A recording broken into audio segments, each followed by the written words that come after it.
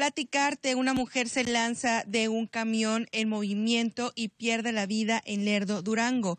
Alrededor de las 21.55 eh, minutos horas de este jueves, una mujer viajaba a bordo de un camión de pasajeros que había salido de Viesca con dirección a Nazareno. Según testigos de los hechos, presuntamente había eh, discutido eh, con su pareja sentimental, por lo cual ella decidió lanzarse de este camión en movimiento.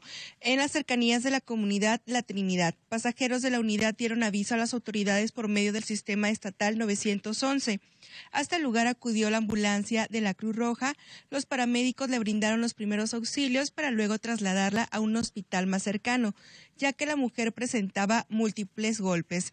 Durante el camino al nosocomio, paramédicos intentaron de todo, pero al llegar a Nazareno la mujer falleció, por lo cual los socorristas eh, dieron aviso a las autoridades ministeriales de la Vicefiscalía General de Durango, el, el, personal de servicio periciales se trasladó hasta Nazareno para iniciar con las investigaciones pertinentes y ordenar que el cuerpo fuera enviado a las instalaciones de la morgue del servicio médico forense.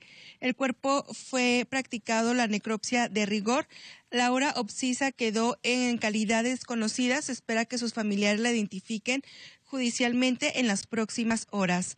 También se quedó sin energía eléctrica el Hospital General de Torreón derivado de una falla eléctrica registrada en la zona.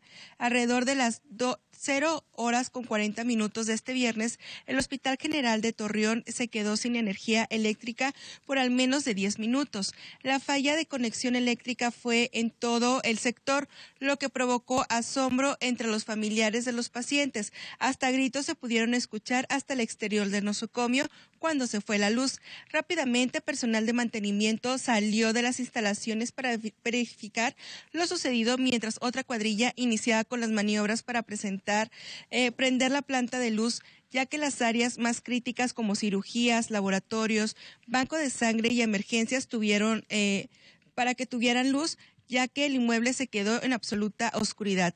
Desde las afueras del hospital se pudo captar cómo familiares de pacientes, médicos y enfermeros prendían la lámpara de su celular para poder alumbrar y dar confort a los enfermos. Según testigos del interior, médicos se movilizaron a las áreas en donde eh, pacientes necesitaban de aparatos electrónicos para poder respirar o algún otro tratamiento para que, para que el paciente estuviera tranquilo y no se complicara su estado de salud. Después de 10 minutos regresó la luz al nosocomio cabe destacar que personas que han estado en este mismo sitio mencionaron que es la tercera vez que sucede durante esta semana. Esta es la información que se generó durante esta madrugada de viernes y noche de jueves. Regreso contigo al estudio, Ángel.